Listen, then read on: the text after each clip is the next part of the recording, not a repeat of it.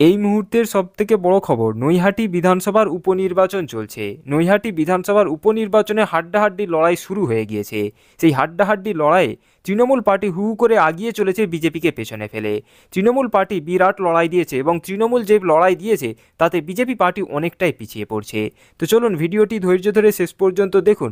নৈহাটি বিধানসভার উপনির্বাচনে ঠিক কত ভোটে তৃণমূল পার্টি এগিয়ে চলেছে, কত ভোটে বিজেপি পার্টি পিছিয়ে গেছে, এই ভিডিওটি ধৈর্য ধরে শেষ পর্যন্ত দেখলেই প্রমাণ পেয়ে যাবেন।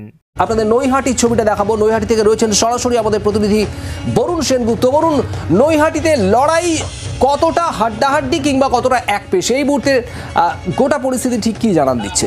দেখো, নৈহাটিতে যে লড়াই, সেই লড়াই কিন্তু আমরা প্রথম অবস্থায় যেটা দেখেছিলাম বা খাতায় কলমে যেটা আছে, চতুর্মুখী লড়াই।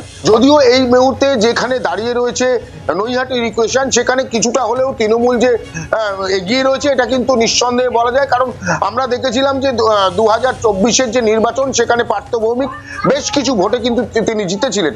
পাশাপাশি দু হাজার চব্বিশের লোকসভায়, আর কিন্তু দু হাজার বাইশের লোকসভা বিধানসভাতেও কিন্তু দেখা গিয়েছে পার্থ ভৌমিক তিনি কিন্তু এগিয়েছিলেন এই যে এগিয়ে থাকা প্রায় ষোলো হাজার, কখনো আঠারো হাজার ভোটে এগিয়ে থাকা, এটা কিন্তু একটা বড় ফ্যাক্টর করবে নৈহাটির এই ভোটে।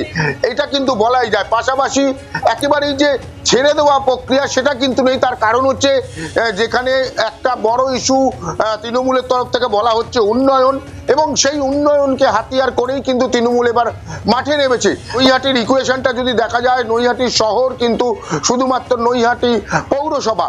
বাদবাকি যে চারটি রয়েছে, প্রত্যেকটাই কিন্তু পঞ্চায়েত।